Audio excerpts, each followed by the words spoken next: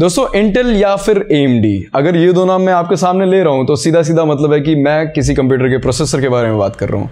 पर ये हमेशा से ऐसा नहीं था। ये दोनों भाई भाई हमेशा से नहीं थे और आज भी भाई भाई नहीं है, ये आपस में लड़ते रहते हैं और आज के वीडियो में इसी बारे में बात करेंगे। नमस्कार दोस्तों, मैं हूँ चंद्रेश। आप देख रहे हैं गीक आचार्य और आज बात करेंगे इंटेल वर्सेस ए की। ये कहानी शुरू कहाँ से होती है? कहानी शुरू होती है 1980 से। उस वक्त कंप्यूटर्स का मार्केट इस तरह का नहीं था जिस तरह का हम आज देखते हैं। पर्सनल कंप्यूटर्स जैसी कोई चीज़ नहीं थी। कंप्यूटर्स में हार्डवेयर और सॉफ्टवेयर में इंटर नहीं थी। अब इंटर क्या होता है?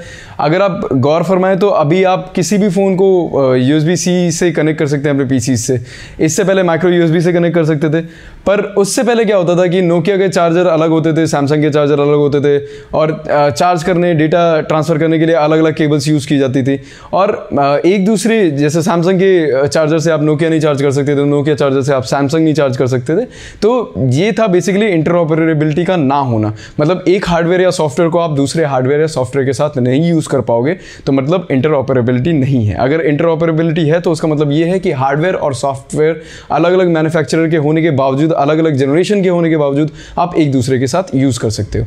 तो बेसिकली कंप्यूटर पर्पज़ स्पेसिफिक होते थे इंटरऑपरेबिलिटी नहीं थी, और बेसिकली एक स्टैंडर्ड ना होने की वजह से ये सारी प्रॉब्लम्स थी। इंटेल ने इंट्रोड्यूस किया 1978 में एक 16 बिट माइक्रो प्रोसेसर जो कि था इंटेल 8086 और वो उस वक्त काफ़ी वो उस वक्त के लिए काफ़ी बहुत ही ज़बरदस्त प्रोसेसर था 8086 और जिसके बाद में बहुत सारी जनरेशन भी हैं 80286, 80386, 80486 और वहीं से हमें मिला एक स्टैंडर्ड इंस्ट्रक्शन सेट आर्किटेक्चर का x86 अगर आप x86 पे गौर फरमाओ तो आपको आपके कंप्यूटर के विंडोज़ में सी ड्राइव के अंदर अगर आप जाके देखोगे तो वहाँ पर प्रोग्राम फाइल्स x86 मिलता है।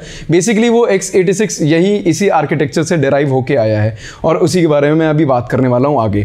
तो बेसिकली इंटेल ने 1978 में इंटेल 8086 लॉन्च कर दिया। पर क्योंकि मार्केट में उस वक्त 8 बिट प्रोसेसर्स का बहुत ज़्यादा बोलबाला था और इंटरऑपरेबिलिटी नहीं थी तो किसी ने इसको बहुत ज़्यादा ध्यान नहीं दिया, क्योंकि लोगों को पता नहीं था कि इसके फ़ायदे क्या हैं।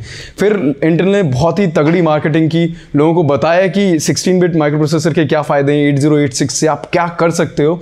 और फाइनली आईबीएम ने आईबीएम पीसी नाम का एक पर्सनल कंप्यूटर लोगों के लिए लॉन्च किया, जिसमें 8088 प्रोसेसर का यूज़ किया गया था। जो बेसिकली इंटेल के 8086 का ही एक मॉडिफाइड वर्जन था। और वहाँ से इंटेल 8086 सीरीज़ बहुत ही पॉपुलर हो गई। और बेसिकली वहाँ से ये एक इंडस्ट्री स्टैंडर्ड हो गया। उस वक्त जो एटीआई और ए थे, उन्होंने भी इस इंस्ट्रक्शन सेट आर्किटेक्चर को अडॉप्ट कर लिया। और बेसिकली पूरी इंडस्ट्री एक ही इंस्ट्रक्शन सेट को यूज़ करने लगी। इंस्ट्रक्शन सेट बेसिकली आपके सीपीयू को समझ में आने वाली लैंग्वेज होती है। उसी लैंग्वेज में आपके सी को समझ में आता है। तो इससे क्या हुआ? मार्केट में इंटरऑपरेबिलिटी आ गई। मतलब आप एक सॉफ्टवेयर को अलग अलग तरह के पीसीज में यूज़ कर सकते हो। आपके पास एम का सीपीयू या इंटेल का सी पी इससे कोई फ़र्क नहीं पड़ता। आप एक तरह की गेम दोनों में खेल सकते हो, जैसा कि आप आज देखते हो। उसके बाद क्या हुआ कि 32 बिट प्रोसेसर का जनरेशन आया और एक्स एटी को ही एक्सटेंड कर दिया गया 32 बिट प्रोसेसर्स के लिए। ही बाद में 64 बिट प्रोसेसर्स है और जिसमें कि बेसिकली एम ने लीड ले ली थी इंटेल से, पर हालाँकि पर पूरी हिस्ट्री में ऐसा देखा गया है कि इंटेल हमें ज़्यादातर रूल कर रहा था प्रोसेसर की दुनिया को। और जितने भी ड्राइवर्स, एप्लीकेशन सॉफ्टवेयर वगैरह डिज़ाइन किए जाते थे, वो इंटेल को ध्यान में रख के डिज़ाइन किए जाते थे, क्योंकि इंटेल ज़्यादातर इंडस्ट्री का शेयर इंटेल के पास था। ज़्यादातर लोग इंटेल के सी यूज़ कर रहे थे, इस वजह से जो भी सॉफ्टवेयर, एप्लीकेशन वगैरह इंटेल के लिए ऑप्टिमाइज था, वो ज़्यादातर लोगों के फ़ायदे के लिए हो जाता। तो इंटेल बेसिकली इंडस्ट्री को लीड कर रहा था और एम एक तरह से एक सस्ती ब्रांड की तरह जैसे मीडिया uh, अभी है। मीडियाटेक अच्छे प्रोसेसर्स बनाता है पर उनके टॉप टीयर फोन्स में कभी भी प्रोसेसर्स नहीं आते हैं। तो एम बेसिकली उस तरह का रोल प्ले कर रहा था एक सस्ती ब्रांड की तरह यूज़ रोल प्ले कर रहा था।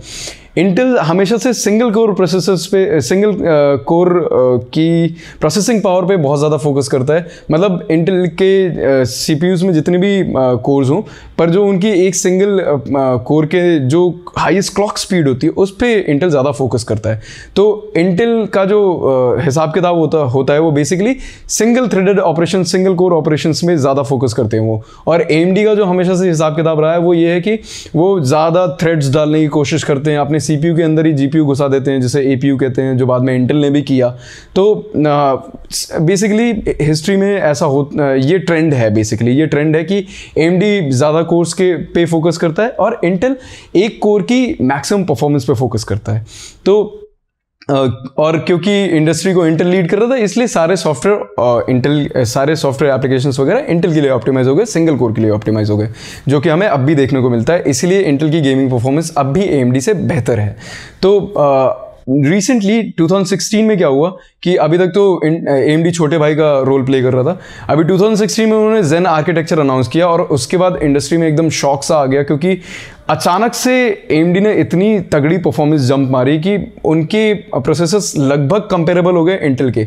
अभी तक ऐसा होता था कि एम एक सस्ते ब्रांड की तरह देखा जाता था पर जेन आर्किटेक्चर 2016 में आने के बाद इंटेल के बराबरी में आ गए थे लगभग एम और फिर आया जेन टू आर्किटेक्चर जिसपे अब राइजन थर्ड जनरेशन प्रोसेसर्स भी लॉन्च हो गए हैं। और अगर आ, मैं एल लाइनस टेक्टिप्स के एक वीडियो को रेफर करूँ तो वहाँ पे टेंथ जनरेशन के इंटेल प्रोसेसर को उन्होंने राइजन थर्ड जनरेशन प्रोसेसर से कंपेयर किया है और रिजल्ट्स काफ़ी कंपेरेबल है मतलब काफ़ी नेक टू नेक कंपटीशन है।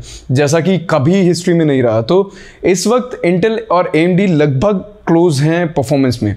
अब जो बेसिक डिफरेंस है इंटेल और एम के बीच में, वो ये है, जो मैंने आपको पहले भी बताया, वो ये है कि ज़्यादा इंटेल सिंगल थ्रेडेड ऑपरेशंस पे फोकस करता है और M D multi threaded operations में। जिसका असर ये होता है कि ज़्यादातर एप्लीकेशंस और गेम्स जो लिखे गए हैं, वो सिंगल थ्रेडेड टास्क को सिंगल थ्रेडेड प्रोसेस को ध्यान में रख के इंटेल के प्रोसेस को ध्यान में रख के लिखे गए हैं। और इसकी वजह से गेमिंग में बेसिकली इंटेल को ज़्यादा एडवांटेज मिलती है।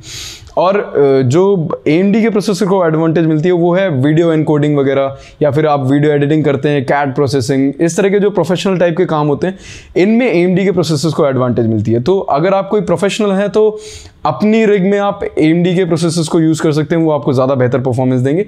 और अगर आप कोई बेसिक गेमर है तो अभी इंटेल ने भी अपने प्रोसेसर्स में प्राइस कट किया, बहुत ज़्यादा एएमडी के, इस तरह के जंप के बाद। तो अगर आप गेमिंग करने वाले हैं और मिड लेवल की मिड टीयर गेमिंग करने वाले हैं तो इंटेल के प्रोसेसर्स अब भी बहुत अच्छे हैं और बेसिकली गेमिंग में इंटेल अब भी बहुत अच्छा है। तो ये था मेरे साइड से इंटेल और एम का के बारे में कुछ इन्फॉर्मेशन कुछ इनपुट आपको कैसा लगा? आप मुझे कमेंट्स में बता सकते हैं। अगर आपको वीडियो पसंद आया तो वीडियो को लाइक ज़रूर करिए। चैनल को सब्सक्राइब करिए और बेल आइकन दबाइए ताकि आपको नोटिफिकेशन मिले जैसे ही मैं नेक्स्ट वीडियो अपलोड करता हूँ। आपके पास कोई शिकायत या सुझाव है तो आप मुझे कॉमेंट कर सकते हैं। And thank you very much for watching this video नमस्कार। आपका दिन शुभ हो।